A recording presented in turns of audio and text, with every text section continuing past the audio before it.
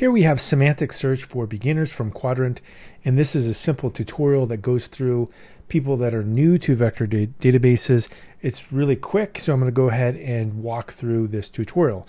So first up here, we're going to make sure that we have the installations uh, necessary. So what I've done is if I go over to this uh, CodeSpaces environment here, notice that I've actually got this installed by uh, a requirements.txt file. So I even have pinned this as well, which is great. And then I like to do installations by doing make install. So if we say make install here, it'll actually get those pinned requirements. So now all I need to do is actually use the Python shell itself to actually work with this particular problem. So first step, what I would do is I would import the model so we can actually go through here first and get the, the clients. So we'll go ahead and paste that in, perfect. Next up, I will go through here and I'll say, let's import sentence transformers. And then what I'll do is I will work with the embedding model because we're going to embed things into this vector database. Then all I need to do here is add the, the data set itself. And so in this case, I'll have a book, metadata, a name, author, publication year, and a short description. So let's go ahead and paste all this into uh, this particular terminal. There we go. Perfect.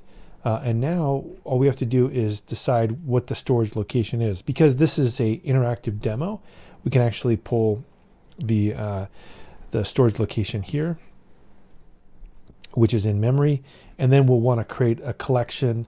And so all the data in a Qdrant is organized by collections. And because we're storing a book, we're going to go ahead and call this thing my book. So go ahead and write a function for this. So let's go ahead and paste this in. There we go. We see qdrant dot recreate collection. Collection name is my books. And then we're going to pass it in uh, so that it's able to create it. Now, uh, what we'll do is that we'll notice that recreate collection is used if you're experimenting and running the script multiple times and this will try to remove an existing collection. And the vector size parameter will define the size of the vectors for the collection.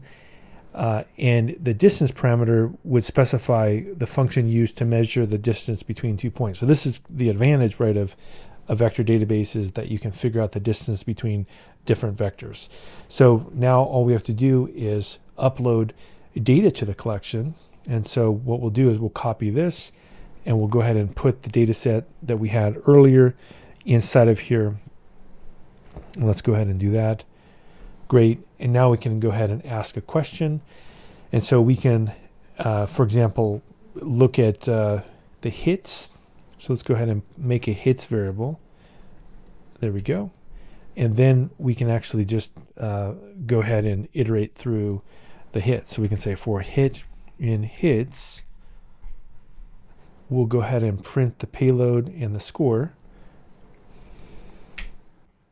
There we go. And we're able to see here that the search engine shows three of the most likely responses have to do with an alien invasion. And each of the responses is assigned a score to show how close the response is to the original um, query here. So if we go ahead and we narrow down it even more, we can look at the most recent books from the early 2000s so let's go ahead and do it again. And let's paste in uh, hits here that does a, another query. And now we can also say for hit in hits, and we can go here and we can actually print this out. There we go. And now we see the three body problem. Uh, and so in general here, this is a great way to play around with the Qdrant uh, database. It has clients for Python, it has clients for for Rust. Uh, it's written itself in Rust, so it's super super fast.